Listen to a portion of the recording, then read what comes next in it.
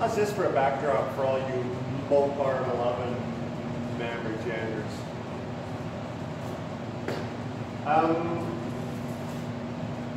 perp guard, still the perp guard. That fender back there has been mentioned. It's a 68 Barracuda fender. Nobody really asked about it, but it's here because I did a bunch of repairs and a little bit of rust work to it. I don't even know, two, three years ago, I guess. And uh, the guy's just got a lot of shit. He's got a pair of them fenders, and he dropped it. And I think he did more damage to it now than I, he did when I fixed it the first time. So it's just patiently waiting for me to fix it. Let's uh, let's go have a look at some stuff what I done. Oh, there's fat cakes. Yeah, you've already seen that. So I painted the inside of the the uh, the hood and the trunk lid there yesterday. Don't mind the shop. I mean, this is kind of real world stuff here. You know what I mean? There isn't a maid here. So that's how I paint the inside of a hood when I paint the inside of a hood when I got to paint the inside of the hood on the inside. You know what I mean? Um, doing it like this, it keeps the, it's inevitable. You're gonna have shit blow out of all the bracework and stuff when you, just can't, when you try to blow it and vacuum it, you just blow it here, then you blow it there, then you blow it there, then you blow it there. You never get it all out of there. So at least this way, I stand it up like that, and then, uh, wow, the camera's just in and out and in and out and in and out, hey? In and out, yeah. Woo, woo, woo. See what I'm saying? Um, so yeah, I blow it and vacuum and stuff, and then I stand it up like that. I smack it on the outside, you know, to get some vibration and knock some of the shit loose that's still in there. Then I give it one more blow, and theoretically, the stuff should, as it comes out, it should go down. So, uh, yeah, and then uh, when I'm painting, when I'm blowing, hopefully it goes down and it doesn't come up into the paint. So uh, it looks almost black, hey? It's purple, take my word for it. But yeah, see it's kind of shiny and kind of purpley. And then uh, same kind of a deal with the trunk lid. Kind of try to get it so stuff's... And actually this trunk lid is worse than the, mo the majority of the ones that I've done because this is the only trunk lid that I've done that the inner brace work has got these holes in it. Every other trunk lid that I've done, and I've done a couple, has just been a solid, um, a solid panel on the inside of it. And this one's got those holes for shit to shoot right up while you're painting it, just like that. Watch out, just like that. And we don't like that. That's not what we're talking about. See, I've done that. There's a couple of bits in it here and there, but all in all, it's pretty good. You can see some dimples from me having to work it a bit. I don't really get the, the dealio with these Dodge panels and how the uh, inner bracework on these things is, it's so weak that when you're working them, because I don't, also don't get why Dodge hoods are such a piece of shit. Every damn Dodge hood that I've worked on the inside of the hood, no matter how nice the car or the outside of the hood is, the inside of the hood is just rusted beyond belief. Always, always, always, always.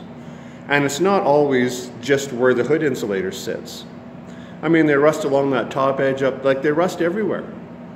They just rust. How come? Anybody? They're rusty. I don't like it.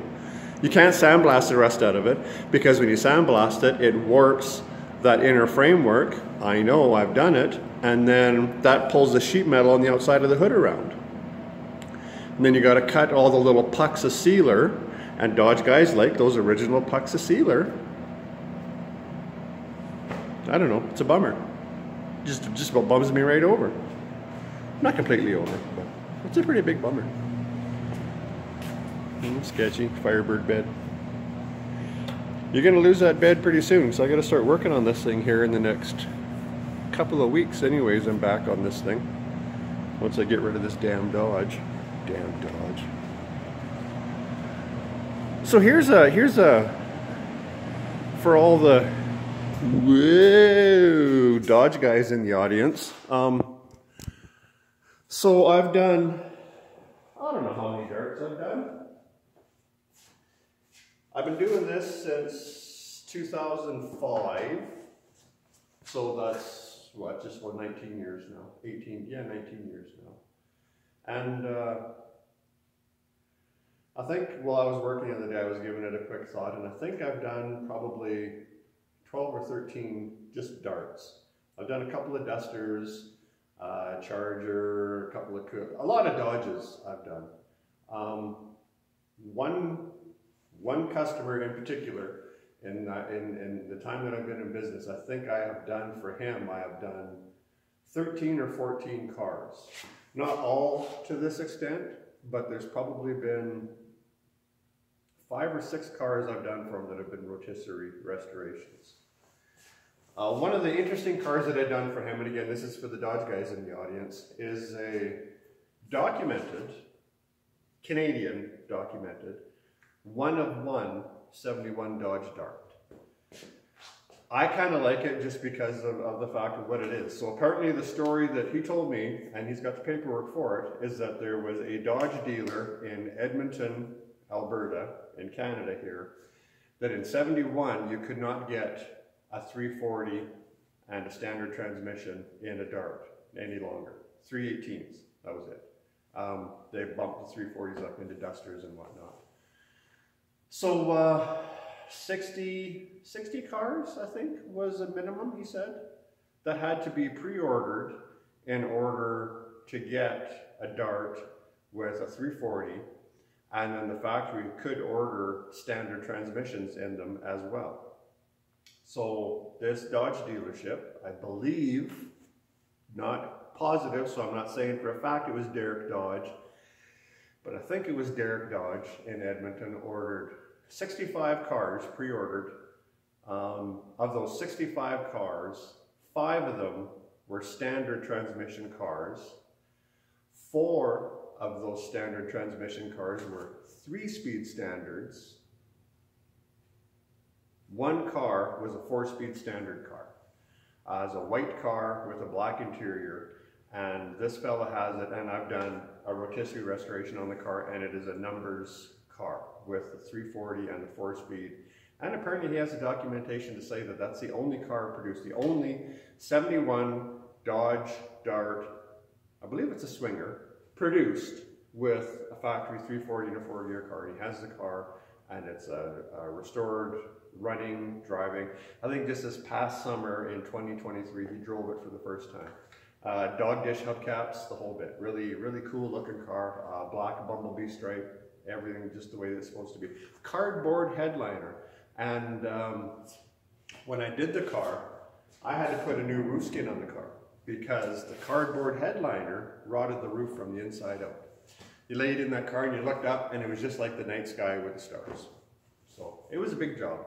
But I guess, you know, the, the one of one factor, I'm sure there's probably people out there of the 19 people that watch me saying, yeah, bullshit, they didn't make it, bullshit. Well, you know, it's, it's, you can believe what you want, but the fellow that's got it, I believe him, and he's got the paperwork to back it up. So you don't work on very many one-of-one cars. I did another car that was wicked rare um, for another fellow that was a Cougar. Um, and it was it, is a 429 Super Cobra Jet drag pack Cobra or uh, Cougar. Uh, green with a black leather interior and the top loader four speed and Ford nine inch rear end with factory 390 gears in it, I believe. Uh, but yeah, another ridiculously rare car. And uh, when it was done, the guy that owned it, he's not a Ford guy. But uh, he thought the car was cool and he sold it to somebody else for a set amount of money. And that dude immediately piped the thing down into the States from Canada here, ran it through the auction, and the thing sold for $230,000, $240,000 just because it was documented for what it was. Craig Jackson actually even did a, a little spiel on the car anyways for the auction. Um, did I get a portion of that money? No, I certainly did not. But uh, anyways, um, what what we're what we're cooking on today is uh, the reason I, I, I, switched the order of what I was going to do uh, because I really want to get rid of this damn car. Like this thing is going to be well over 400 hours by the time it's done, and it hasn't been 400 consecutive hours because I got some other shit I got to work through too. And I get tired of looking at this shit all the time. It's every day, you know, and you get, after a while, it starts to affect your sensibilities. And I, my sensibilities are kind of shaky to start with, so. So the reason I done that was uh, I want to be able to let the clear on the inside of those panels sit for a couple of days, well at least a good solid day, um, to harden up more so when I flip them over onto a stand to finish prepping the outside of the panels, I don't, I don't screw up the paint on the inside. I don't want to mark it all up. I mean, it doesn't look too bad in there. So why would I, why, why would I take what I done and, and, and undo it? So I did them yesterday so that they could sit. Um, and today, the intent today, well, it's not just the intent, but I'm going to paint this mess of shit over here today and probably prime those. Focus, come on, focus, you dirty prick. Oh, you're not going to focus, are you? Ooh, there it goes. Does that make you dizzy? I don't really like it. So, but anyways, yeah, that's that's the gig for today. Is uh, I'm get that shit out of the booth and put this shit in the booth. Um, I'm probably not gonna paint this shit right away this morning because it's still bloody cold outside. So I'm gonna let it warm up outside a little bit before I paint it. Because I bring air from outside inside to replace the air in the booth, so I got to heat that air up. So I might as well let the air outside warm up for a few hours before I start warming up myself. So there, that's the, the natter and on start of the video.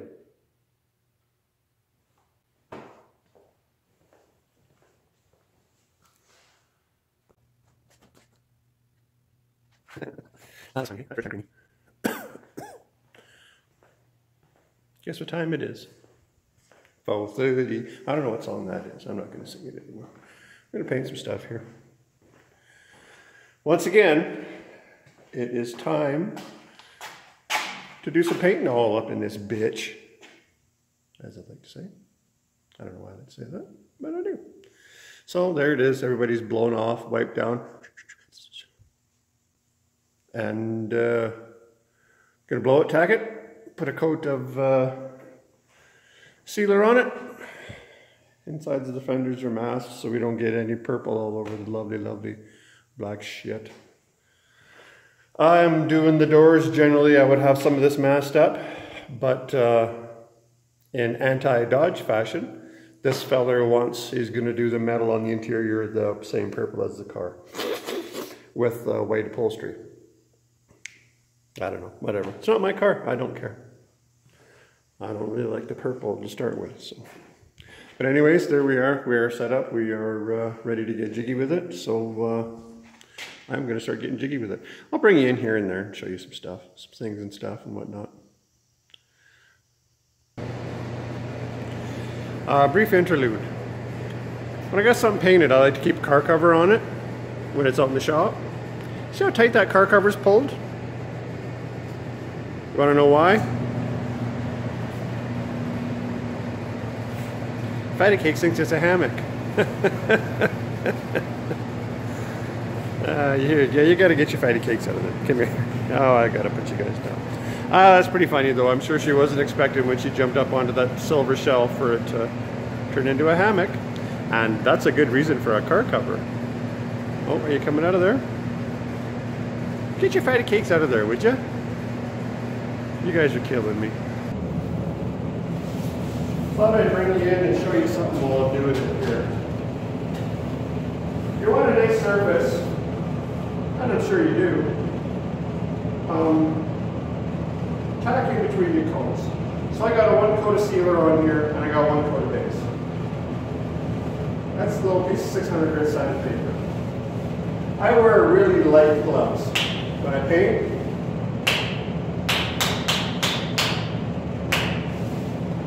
And the reason I do that is so that when I'm tacking the surface, I can feel through the glove because the glove's really thick.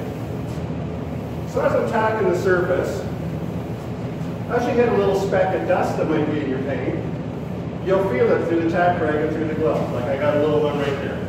So to get down in the light and find this little microscopic little son of a bitch. Where are you, little bastard? Keep feeling it, keep feeling it. Oh, it's right there somewhere. Oh, there it is. And just a couple of strokes with that knocks the top off that little piece of dirt. To go over the panel with a tack rag. And I'll do it to all the little bits that I find. It takes a minute. But again, if you want it to be nice, it's a hell of a lot faster to do this now than it's going to be if you're going to need to polish the bits of dust out of the clear. You know what I'm saying? It's a lot faster to polish the clear. Actually, that's pretty good. There's not much in there. Um, the fender. But anyways, if you use fine enough paper, like I said, I use 600. Because in my next coat of base, um, in my next coat of base, it'll kill that. It'll fill the 600, it'll be gone. I don't know if you'll be able to see this in the right light. But there's a few spots. There's a spot there, you can see that little scuff. There's another guy, can I get it for you? Right there, you see that one. Up there, you see one. There's a couple on the door, a couple on that fender. So like I say, tack rag, light glove, sweaty hand, then like I say, oh hell, sorry. You can feel your tack rag snag on the little bit of shit that's in there. It's gone. Next coat of base, it's out of there. Generally, I find that uh, the majority of time, you'll just get that shit usually in your first coat. Because that's your first pass with the gun, and it'll probably be your sealer. If you can see it, these little bits that I got, they're little gray tits. Just little tiny tits. And nobody likes tiny little tits. Well, I shouldn't say that. But that's what they are, and when I'm knocked the top off them, it's a little white dog, gray dog, whatever. Like I said, next of base, that'll be gone. So uh, I'm ready for my next of base, so you're gonna be gone. Never gets old, does it? Blink. so here's the thing. So I have uh, coats purple on these panels. Now I said uh, previously that uh, when I got the paint, I had to get more paint mixed up. And when they mixed me up the more paint, they were missing one of the toners. They ran short on one of the toners, and it happened to be a green pearl in purple. So uh, those of you who are Dodge diehards are probably right now saying, well, what the hell is there doing with the green purple, green pearl and the purple from the 1970 when they didn't even have pearls back in 1970? Well, it's because this is the 2007 to 2014 or whatever the hell it is. And it's got pearls in it. So I've already sprayed the body of the car and I can see that in sunlight the body of the car has quite a red flip to it. When you get it in a certain light, it's got like a, it's getting like, like, cause it gets like a red glow to it if you don't know what a flip is. So me and my little peanut says that uh, that green pearl is probably in there to help control that red flip. And they're getting that red flip from a combination of the other shit in the colors. Whatever, that's a chemistry lesson that you don't really give a shit about. So being as how I don't run myself flat out of materials when I'm doing a job until I get right to the end, and I've always got a little bit left.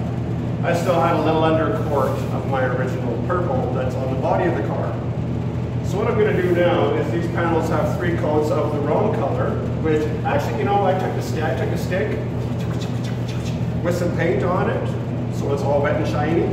Out there, when the sun was coming in the window, just right and hitting the big purple turkey out there, and uh, I held up alongside the big purple turkey. I couldn't see a difference. So, and then the dude said there wasn't much green pearl in the color to start with.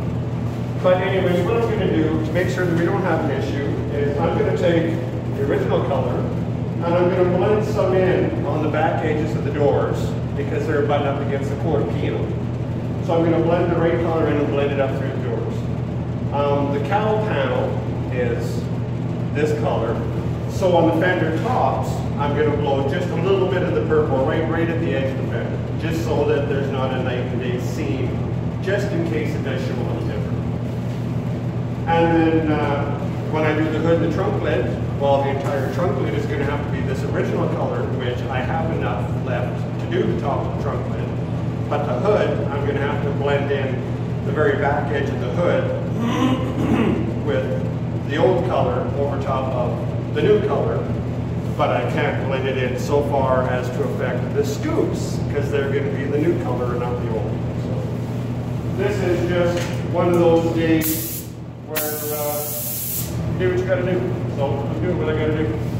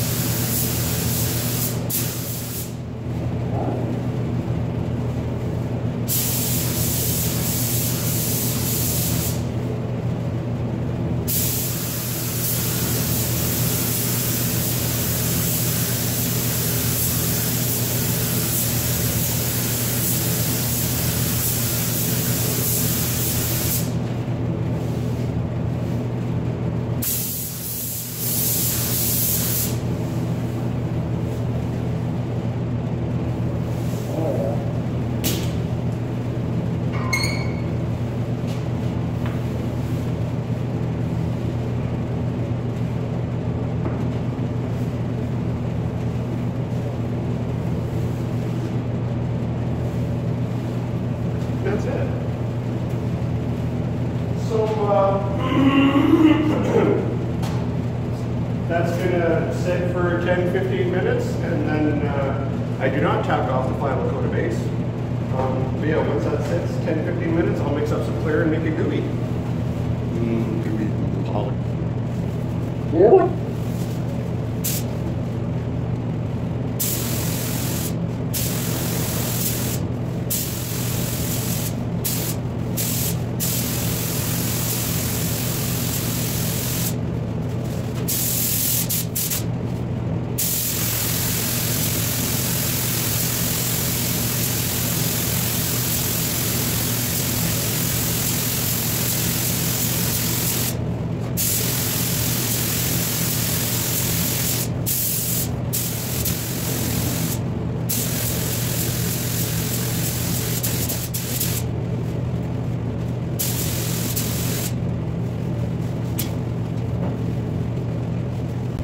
It's gonna get foggy, you gotta get out of here.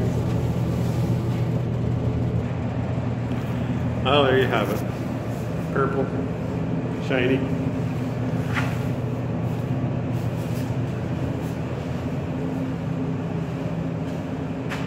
purple.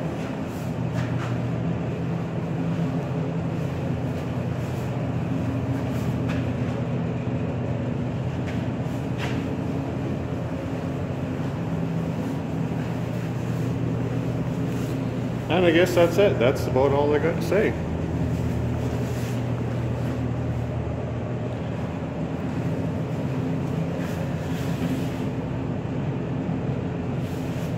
Here, we'll give you a shot of the reflection on the doors.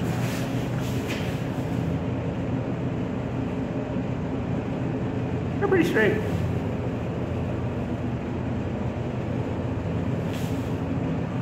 What do you think? That's pretty straight, eh? All right, well, that's it. That's all I got for today. So just remember, if it's nice out, leave it out.